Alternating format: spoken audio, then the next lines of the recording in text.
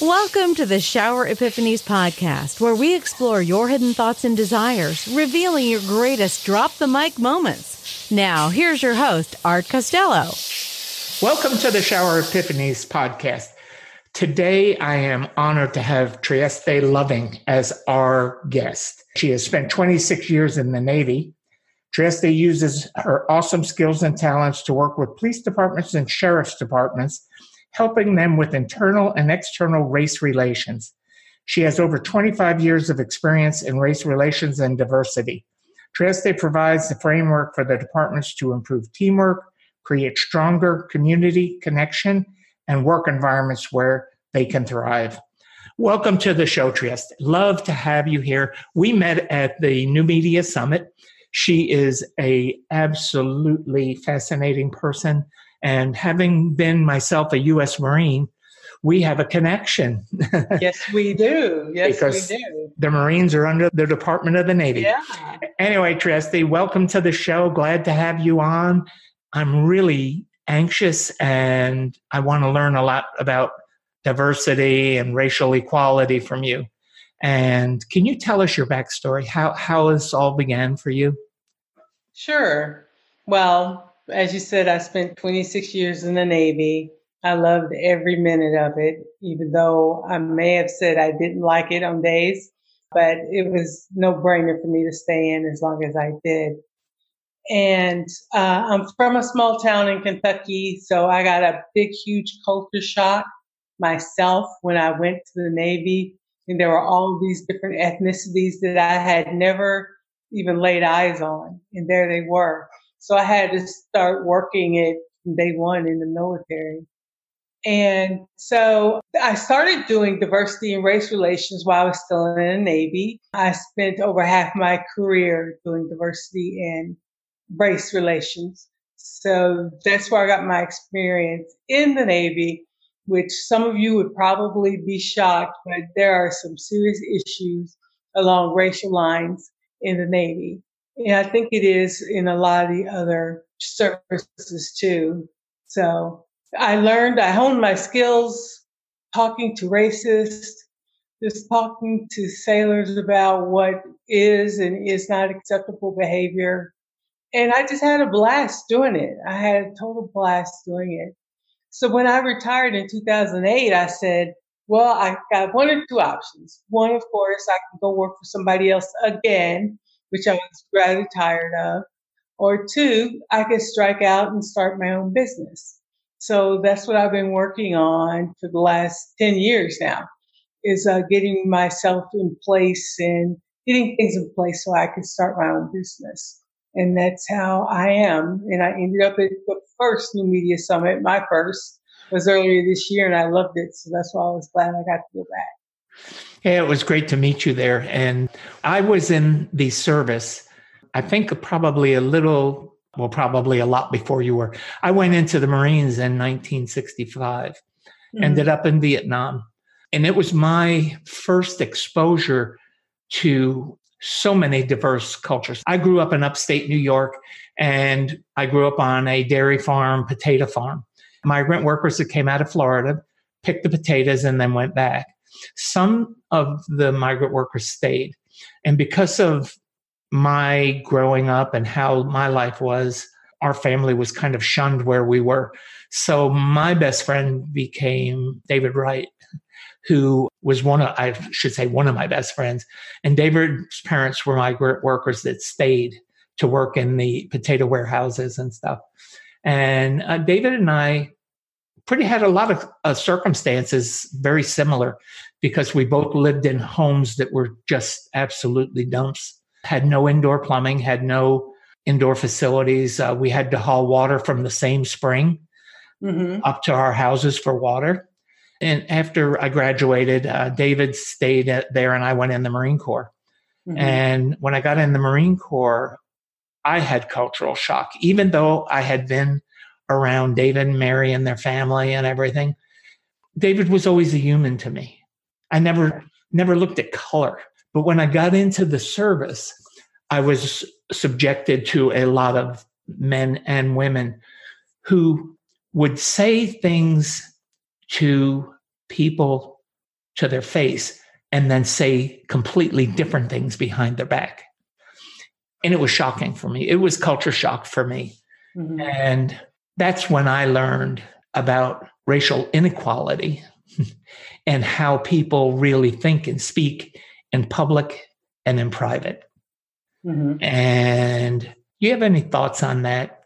In the year was 1965 when I went in, in there. So racial differences were very, very different and heated because of mm-hmm. what was going on in the South versus what was going on in the North and all that. So it was very different. Was it different for you growing up? Well, since I grew up in a small town and there were the only black people there were my family. So it was like 98% white. So I grew up as, if you will, a white girl. My friends make fun of me because I try to sound like I'm street and they just laugh. They say, you should just stop trying because you really can't do it. So what I found though, in growing up there, that it was culture shock for my other white friends who eventually became my white friends, shall I say, because they had never seen a black person. We lived in one town and they lived in different towns. So it was like, well, when we combined school, here you go, here's this person. And it's like, who is she? And what is up with your skin? And one girl asked me what color my blood was because I was black. And I'm like, well, as far as I know, it's red, just like yours. But, you know, that was an innocent question, but it just showed the signs of the times where I was. Now, I was born in 62. So we're talking about the 70s, mm-hmm. mainly the 70s and, you know, just right at 80s, mm-hmm. in the 80s.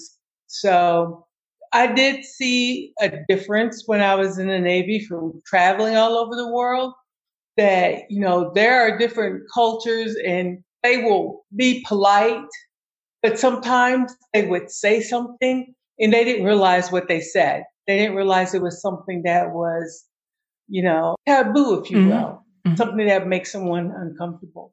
So yes, I, I did see that when I was growing up and I know how people are now. So, you know, being in the Navy is no different than being on the outside. I just knew what I was going to put on every day, but still had to deal with the same types of people, same types of discussions, the same types of uh, knowledge in the background. So, yes, I agree with what you said. Need to have closure in any given situation is sheer human nature. And when it comes to romantic relationships, this desire skyrockets. Has your previously failed relationship left you in immense pain? It's not uncommon for people to shy away from a new relationship after their first one fails miserably. The fear of the unknown makes them hide in a shell to prevent any future heartbreak. Relatable? Despite wanting to love and be loved, you can't take the plunge if your mind and heart are still locked somewhere in the past. Maybe you aren't aware of the power of releasing the past, or perhaps you don't know how to do it. Art Costello, in his online course, teaches the art of moving on from bad places to happier, more stable ones. This course can change your life for good, helping you beat all kinds of negativity on the road to eternal bliss. Sign up now before the gloominess gets the better of you at expectationacademy.com.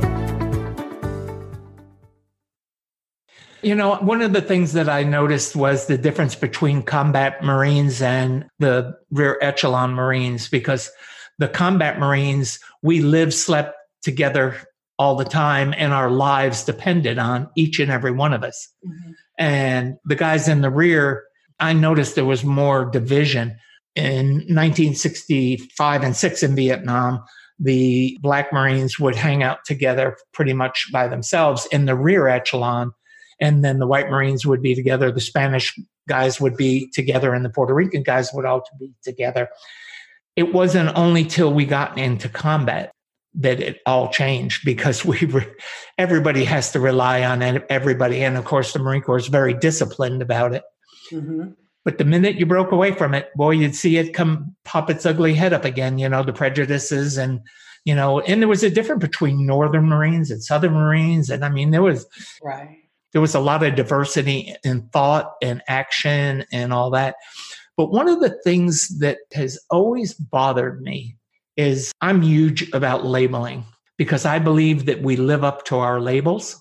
And if you have negative labels, you'll live up to them if you're told. It's like telling kids in school, you're stupid.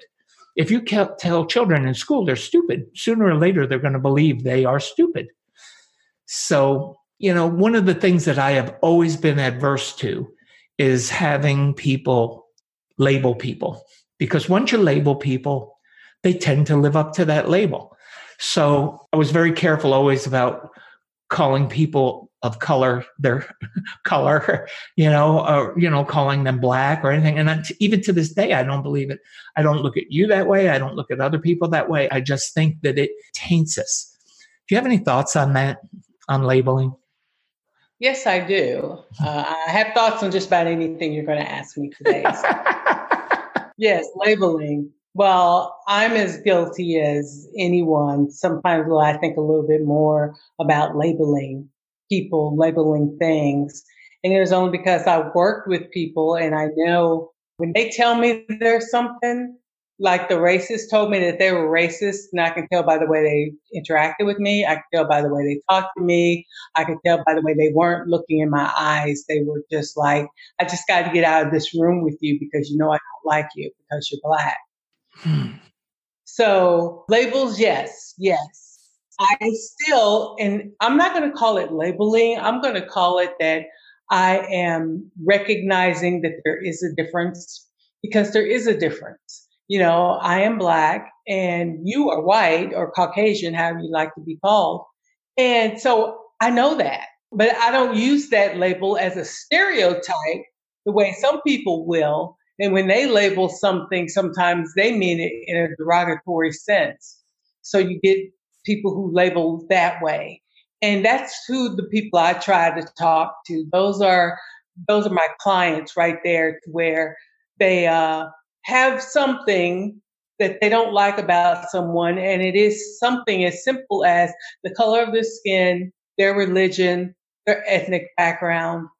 And it's imperative that we all try to, when we hear something that sounds kind of off, one of the things I say, if you hear something, say something. Just like if you see something, say something.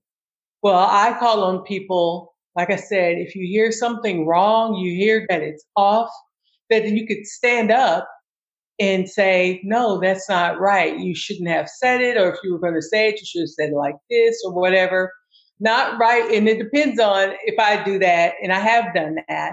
And it depends on where I am, if I say it in front of a group of people like they did, or if I can pull them over to the side and mention it. I try to pull them over to the side though. I don't want to put anybody on the spot. So yes, labels, they do have their place, at least in my world, but it's not the label to put the stereotype on someone to say, oh, because you're black, you're lazy, you know, and it's like, no, I just happen to be a black female. And how I am is beyond what my skin color looks like.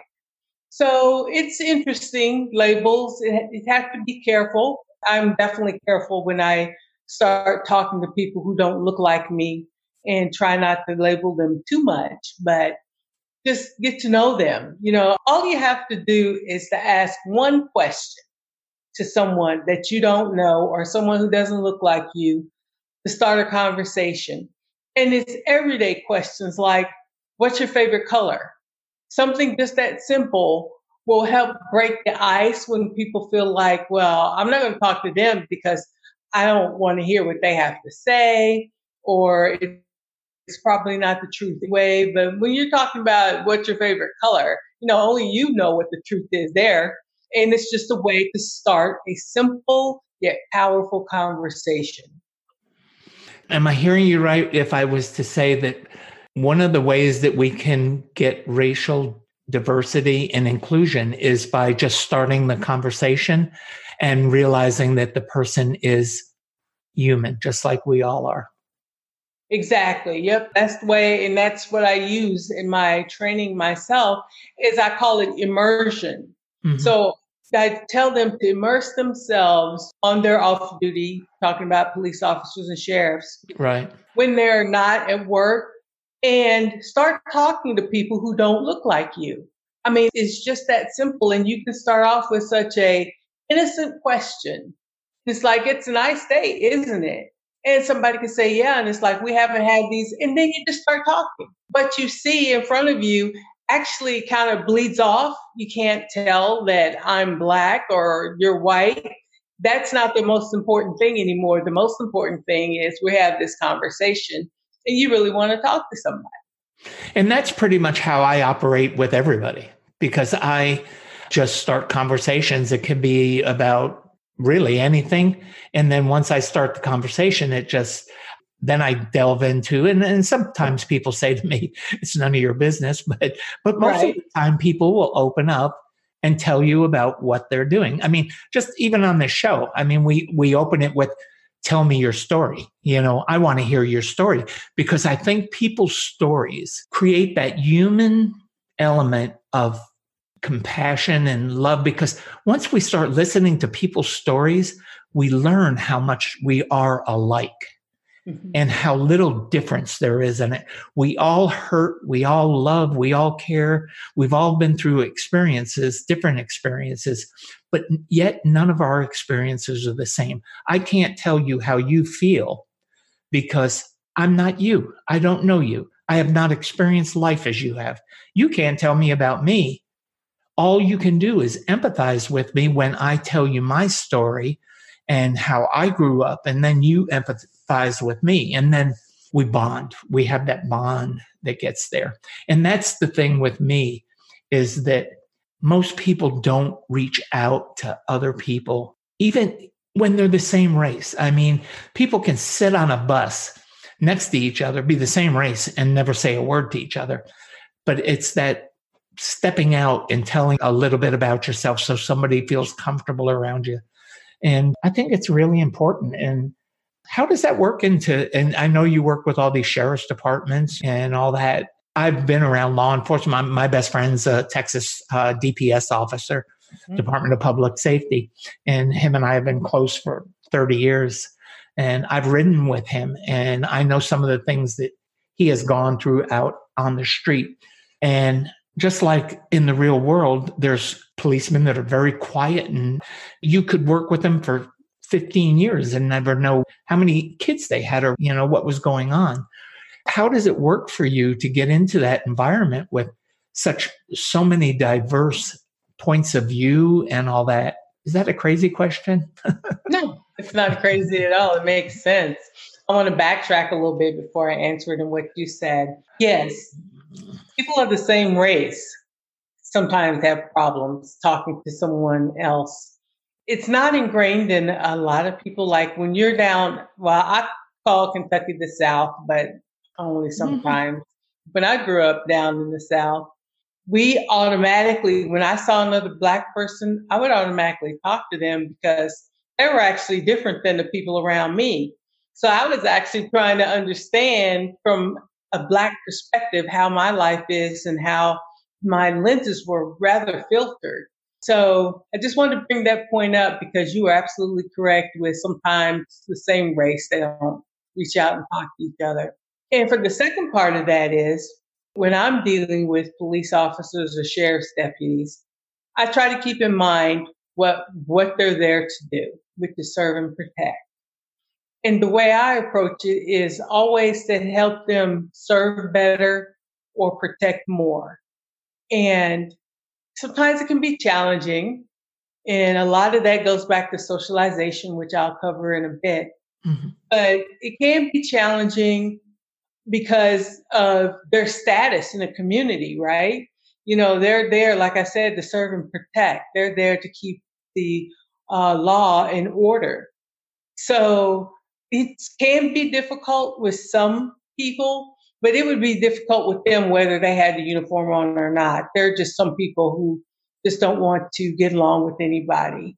And what I try to do is to help them come back off of some of the stereotypes they have. Because if they're not talking to somebody who doesn't look like them, then the only thing they have to go by is stereotypes, what someone told them that these kind of people are or those kind of people hmm. are. So I try to get them not to automatically default to their stereotype.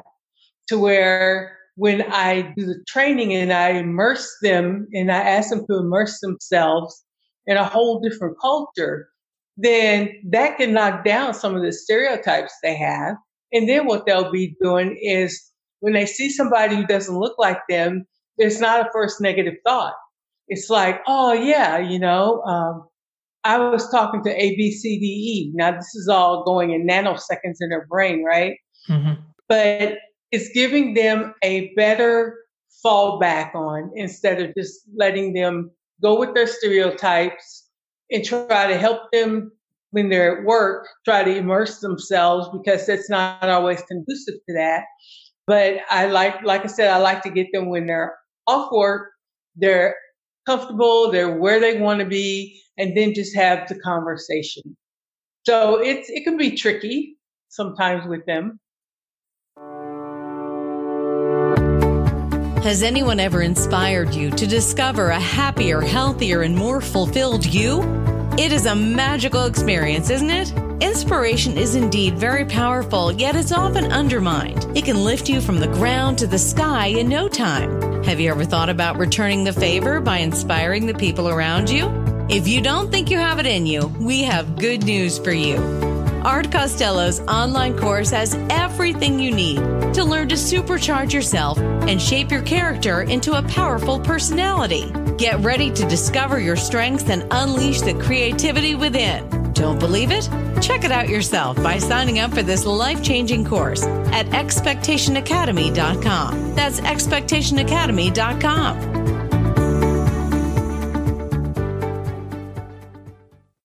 One of the things for me that I understand, because I come from the perspective of having ridden with a police officer on patrol many times, I know one of the things that police officers right now are working under is extreme fear. They fear for their life, they want to go home. Mm-hmm. And we just had an incident this Saturday night in Fort Worth, which is 300 miles from us, where a man a deputy shot through a window, never said a word or asked anything because I'm sure he feared for his life and killed a young lady, 28 years old. And it's going to turn into another thing like the Dallas police shooting in the apartments. And how do we get police officers and the public to where the fear isn't so great from the police officers and the fear isn't so great from the, the black community or the Hispanic community, the minority communities, because I think it's all minority communities have this fear of policemen, you know? Yes. And how do we immerse them too into conversation where this can stop? Does that start with how does it start? Does it start with the police officers first going into the communities and getting knowing their environment? That's one way. Yes, That's one that way. is one way for sure. And uh, I talk a lot about community involvement and police and sheriffs. So the way that, and I understand, fear is usually the thing that we call it, but it's not like we're necessarily fearful of the person. We're fearful of what we think that person is. And that goes back to falling on stereotypes and mm-hmm. relying on those to say, hey, well, I know all white people are ABC. So when I see a white person, I'm probably not going to want to talk to them, on and on. And it starts with somebody who can tell the story like I tell my story so they can understand me in the town I grew up in. And then I'll ask them about their story and people love to talk about themselves. You know, once you give them a few minutes and they're gone. So it's really not that hard to get the conversation flowing. It's just not being fearful of what you don't know about them. What is it about them that makes them or makes a group fearful of another group? And I go back to it's just how they were socialized. And uh, I'll go ahead and cover a little bit of socialization now because I think it's a good spot uh, socialization is what we all go through, and it comes to who we are. It makes us who we are. And socialization is passed down from generation to generation. The things like language or values or beliefs or truths, religion.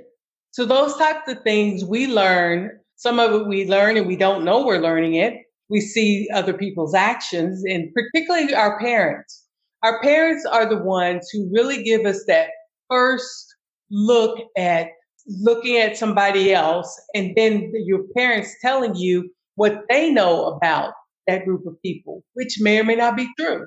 It was what was passed down to them from their parents. So I don't ever say somebody's parents raised you wrong because that's not that's not in me to say that. What I can say though is your parents socialized you a little bit differently than somebody else who looks like you, and those other people don't have a problem with somebody who's a different color. But because of the way your parents passed it down to you, then you may have a problem with people with different colors. And I want to tell a real quick story to show that this is real and this is what happened to me with one of my conversations with a racist on board. He had been on board the ship hours.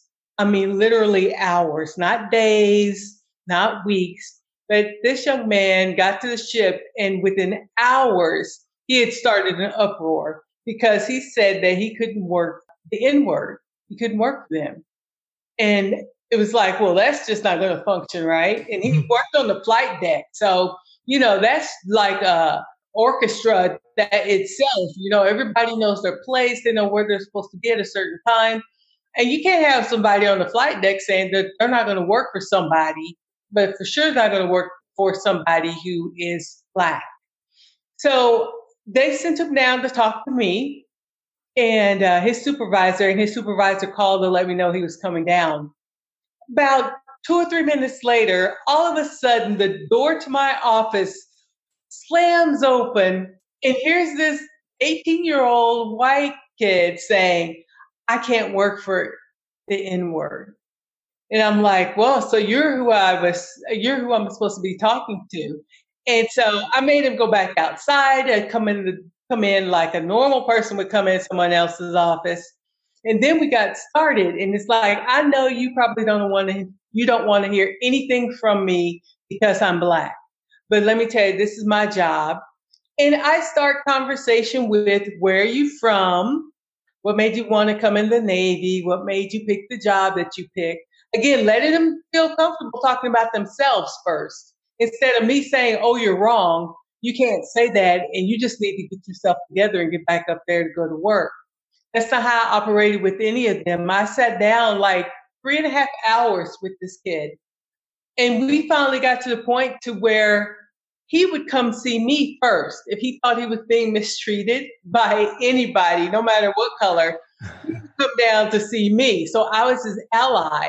And I called him, I told him, it's like, well, look at you now. Now, the first day we know what we both know what you said. And I said, Look at you now. You're coming down here to me, a black person, for help. And I was like, Did you ever think that that would happen? And he looked up and he gave me the honest answer and said, No. He says, I, I never would have thought that would happen. You know, that would never be my first choice would be to come talk to you about anything. But he grew up in a small town in Texas and there were only white people in his town.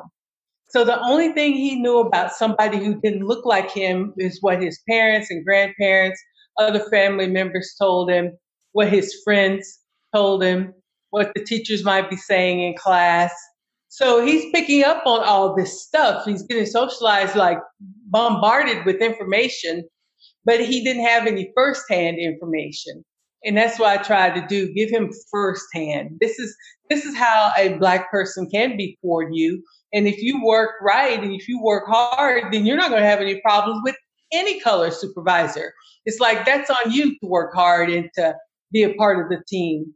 And I got him to about a month, and then he just fell back into his same old ways. And we had to discharge him because of his views and his language. But that was just, you know, he was an 18 year old kid. He'd never been anywhere. And he relied on his socialization as he should from his parents, grandparents, school, etc.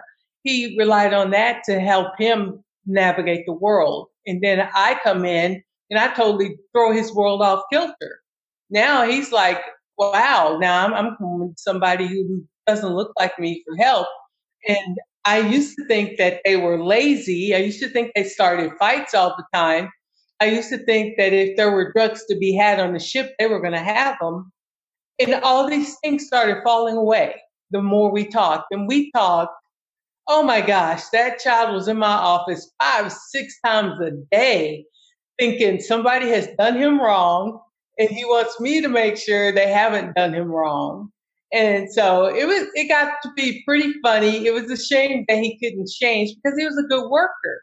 He would have gone far in the Navy, but he just couldn't get past how he was socialized. Yeah, and it's a wonder that he even lasted that long in the Navy. I mean, you know, because the Navy and the Marine Corps are very diverse. And I mean, it's usually picked up very early on. Mm-hmm. And he must have hidden it in the boot camp and that, that kind of thing to get on ship to do that. Yeah. But but you know, we're dealing with a, a lot of white supremacist and racism in this country right now. And I think about it and you know, for me it disgusts me and all that. And I the to have that view anytime that you limit what somebody else can teach you, you're really cutting yourself short. And, you know, for me, I want to learn as much as I can. I mean, I'm 72 years old now and and I still want to learn about people. I love people so much. That's why I love talking to people because I learn from their experience and I incorporate it into my life. How do we get to these hardcore? Do you think we ever will get to these hardcore white supremacists? No, I know. And for the very thing I just said, they get socialized by their parents, and then before you know it, they're in this group of people. And they went to this group of people not may it may not have been because they thought that they would think like they do or they seem to act just like them. They get to that group of people like we do any other thing. It's like they are looking for something that's missing in their life and they know that all of a sudden this white supremacist group has what they're looking for. They have friends. They can go camping together if they like to camp. They can go shooting together. They can do all these things together and then they get immediately accepted into this group. Now, a lot of people, I've talked to a lot of people who were white supremacists I asked them the same very question. It's like, well, do you think we could ever stop this? And they answered the question like I did. It's a nice dream to have. And can we get better? Oh, heck yeah. We can definitely get better. And it's the same steps that I do with police officers and sheriff's deputies, I do with people who are racist. I sit them down and I tell them, you need to go find people who treat you right, and you'll see it doesn't matter what color you are. And then that will hopefully start having them overturn a few things in their mind, have them overturn that blacks are all lazy and, you know, they all sell drugs. And it's the same thing with somebody who, if they omit one, that they are a hardcore racist, and two, if they're a hardcore racist, how comfortable was I, and I'll use myself, how comfortable was I to sit there and talk to somebody who I know they just didn't look like me because the way I look. So, uh, no, because we go through socialization, and as that one 18 year old I was talking about, 18 years old, and that was, oh goodness, seven or eight years ago that this happened. But he was 18, and already he had such a hatred for Black people at 18. Mm-hmm. And it's like, so he wasn't born with the thought that black people are lazy. He was told black people are lazy. Oh, yeah. So, and what the media does, it's unfortunate. There are two things I don't like about the media. One is that it's a 24 hour news cycle now. So, you know, everything gets picked up and some things get looked over that I think would be better. And two, the media can sometimes pigeonhole different races and ethnicities into what they think they are. So when they're going, they want to make a TV show and they want somebody who's going to be a housekeeper. Well, they could either go to a black person or they could go to the Hispanic person, but they really wouldn't think about the white person being someone who cleans up after themselves because that's not how they were told white people are. You're not like that. Mm-hmm. You know, this type of job is for this person. And they do it in TV shows, they do it in the movies. And there's nothing wrong with that as long as it's a good stereotype.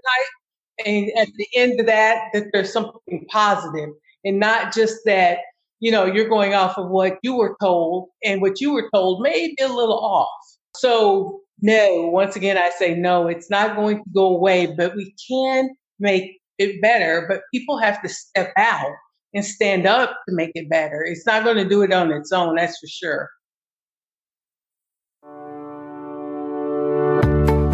Don't know which direction you want your life to take? Are you sinking deep down into the pit of uncertainties day by day? So, what's the secret to leading a happy, satisfied life? It's taking matters into your own hands. But what if the matters in question are a total blur? Art Costello's Expectation Academy course aims to tell you exactly how you can get some clarity in your life. This course can be your savior on your journey to reinventing yourself. While you certainly can't plan your whole future ahead, you can definitely control twists and turns your life takes. So, what are you waiting for? Sign up for this course now at expectationacademy.com. Get a chance to broaden your horizons and add meaning to your life. That's expectationacademy.com. When you were talking, one of the things that was going through my mind is what I call economic racism, where we don't give people of color the chance to progress in jobs. And very similar to what you said, we subrogate to cleaning and, and lawn services and you know service jobs that white people don't want to do how do we start i mean i know it's through education i mean partly but when you go into the inner cities and you see how suppressed so many black youth have come you know we talk about stopping the drug culture in this country. Well, when your family's starving and you don't have anything else to do and you've got it, you know, that's why the drug lords prey on our economically disadvantaged.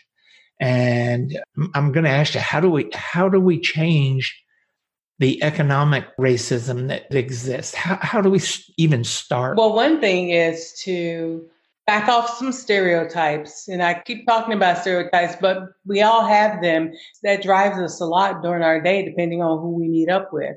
So it's uh, debunking some stereotypes, but also it's to help, to me, speaking for myself, the way that it's going to change inner city where the only thing they have to choose from is either don't eat food or go out and sell some drugs to somebody so you can have money to eat, understand that those are two very hard choices and they're at the opposite ends of the spectrum. So to help mm-hmm. somebody who you can clearly see is disadvantaged just because of the way they look, but no one has given them the chance to talk about themselves, talk about the things that they see going on, and maybe they have the remedy themselves and they can come up with it. But that's not how we go about talking to them like that. We talk down to them, we talk down about how they are. And I, I try to make it a point when I am in a hotel or in a restaurant, I try to make it a point to thank, particularly people who clean the hotels, I thank them at least two or three times that I'm there staying. I said, You're doing a really good job, and I really appreciate what you're doing. And that makes, you know, those people start smiling, and it's like somebody noticed me for me just being, you know, the housekeeper. So we have to start doing more of that as well. We need to start building people up instead of tearing them down. You know, you you brought up a good point. You know why? When I had never, and I've traveled extensively in my business and everything else. And when I married my wife, my current wife, I lost my other wife to cancer. But, and when I remarried, my wife taught me to leave a tip on the bed for the wait staff, for the cleaning staff. And she would always write this beautiful note about how well they kept the room and everything. And that taught me, I started doing that. And it, it isn't only for them, but it's also for you because you learn to appreciate what mm-hmm. they do. And, you know, when we were at New Media Summit, we are staying at the hotel and I did that and I walked out and the lady that was cleaning our floor, she came up to me and she said, you don't know how much that means to me. And she said, for me, it was the difference between baby formula and mm-hmm. diapers mm-hmm. and trying to figure out how I was going to pay for it. And I just thought, I said, that is so impactful to hear her say that because my next thought was, what if everybody on this floor had done that for her? Yeah, right. Imagine what it would have done for her life, you know, change it immensely. Absolutely. So. And and I'm glad your wife talks you into doing that. That's a she didn't nice have to talk me much into it to bring it to your forefront. Then something yeah, you there you, go. Probably do, but it just was back in your uh, unconscious mind. I just had never thought of it before. Yeah, you know. I I tried to do it. Even even the people who are bringing us water at the New Media Summit, you know, they come in, they get us cold water. And if I caught one of them, I'd tell them, "Thank you for what you do because you're making this possible."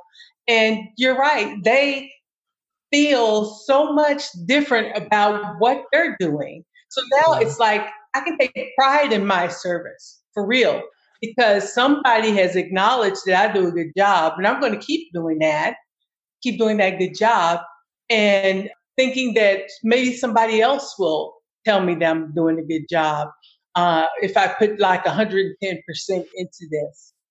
So mm-hmm. it's, uh, yeah, that just that one simple gesture can help people so they don't see them as this is their job, if you will. Of course, it's their job, but you know, it's like that's what they were put on this earth for was to come clean up hotel rooms. And that's the only thing they can do which is so far from the truth. But it, it takes some people looking inside themselves too to make that change in their thinking, in their stereotypes. And changing stereotypes are difficult because they are so ingrained, but it's not impossible for someone to change their stereotypes and start to recognize the beauty everyone adds to the world. I've always felt that leadership at any level, whether it be government, religious, social, you know, educational, whatever. Leadership is always important in in changing how cultures operate. And we're, you know, right now in this country, we're probably more divisive than we have ever been because of what is going on, mm-hmm. you know, in the government mm-hmm. and in the presidency and the Senate and all that stuff but it's really, I think, hurt in a different way. It's hurt the movement to be inclusive because what it's taken the focus away from really what's important and putting it on issues that really are that really don't matter. Mm-hmm. Any thoughts on that? Any? well, I think you're. I do agree with you that we are just way too divisive right now, and it's, it's unfortunate that you can see it. And I meant to talk about this. This is one thing I meant to bring up when you said something. Let me go back to that when you were saying that all the Puerto Ricans sit together, all the blacks sit together, all the whites sit together in different places. But that's called self segregation. And all it takes is one person from a different group to go sit at that table for people to say, hey, why do we all just sit here by ourselves like this? Why do we huddle in a group when we all should be, well, we all have to work together. When we're on the ship, we had no choice. We had to work with each other. And the self segregation I brought up quite a few times. And I did CCTV on the ship. So I would either be a roaming reporter talking about race and ethnicity, or I would be on a set with our CO, our XO, and our CMC, Command Master Chief. And mm-hmm. we'd be talking, and they would want me to say something. So I'm not going to say that I changed it any, but people came up to thank me for that very thing, for me saying, why don't you just go over there and sit with somebody who doesn't look like you? it's lunch. You can freely talk. Or if they don't feel like talking, oh, well, at least that, that person sees that, oh, so I'm not thought of as that different, you know, because somebody else from another table came over to sit with me during my chow time, meal time. I'm still talking Navy.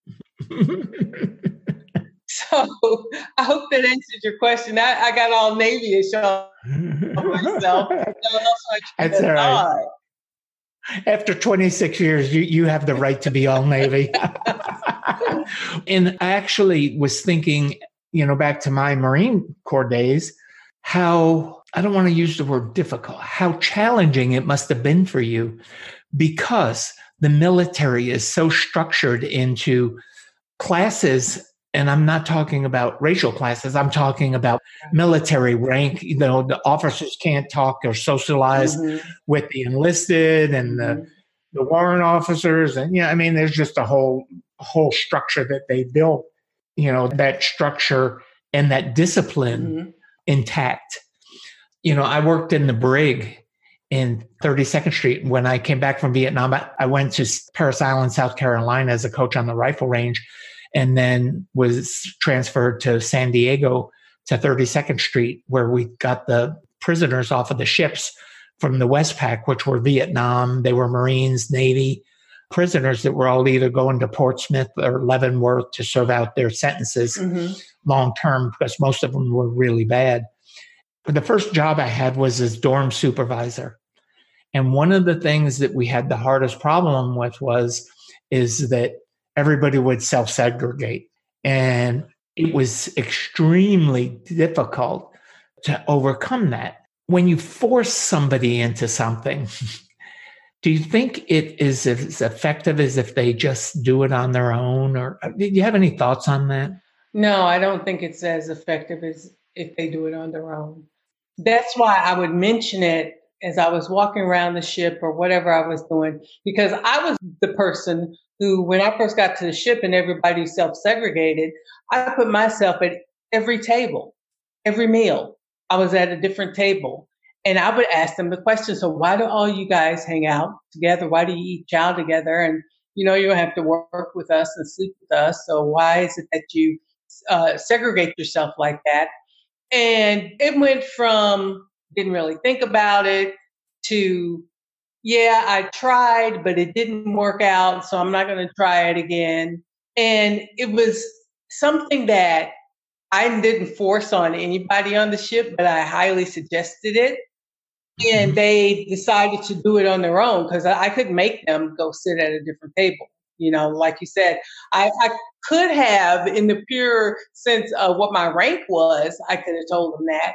But, you mm-hmm. know, come on, that's just crazy.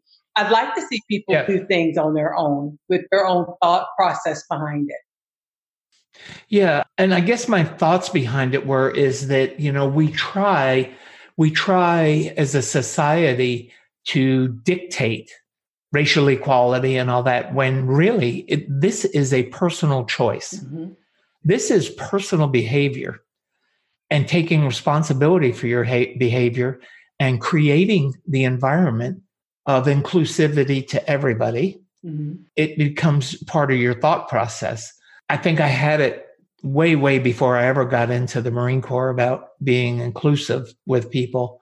But, you know, I keep going back to the thing. I always, I guess I try to be Mr. Fix It. You know, how, how can we fix all this stuff? you know, because it's so much easier and less stressful to get along than it is to put all your energy into being ugly, nasty, because it's negative. And anytime you deal in negatives, you're just taking away what is good in the world. And I guess that's my statement. I just want us to all be good. Was it Rodney King that said, "Why can't we all just get yeah. together, be you know, be together?" Yeah, yeah.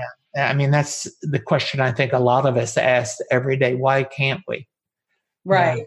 And as you said, it's a personal choice. And sometimes people don't even look at it as though it's a personal choice. It's like, well, I'm just going to go with the flow of the crowd. And the flow of the crowd happens to be going this way. But if I turn around and go this way, I might find something even better, but I'm not going to do it because that would take too much. You know, that would take a lot of bravery, a lot of looking at yourself to say, hey, you know, that this isn't right. It takes a lot for somebody to come out and speak up against it. And mm-hmm. because I didn't mind coming out and speaking up against it, some of my bosses hoped that I would stop talking, but it was just something because of when I was socialized, because I was socialized with a whole different ethnic group than I was. So I learned things through a Caucasian filter didn't know anything about Black mm-hmm. culture. But I knew I had to start reaching out because I am Black and it would be nice to have people in, of my own ethnic group so I could talk about things that are unique to that group.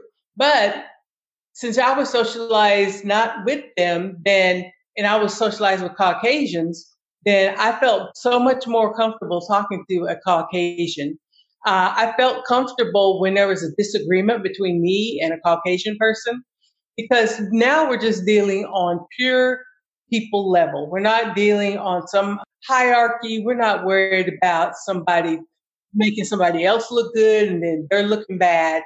It's really about learning about each other. And so there has to be a willing participant to do this. And like you said, because you can't force it. I couldn't force half that stuff on the kids that I did. But I talked about it through a different lens for them to show them this like, well, there's nothing wrong with doing it. Change it up. There's absolutely nothing wrong with that.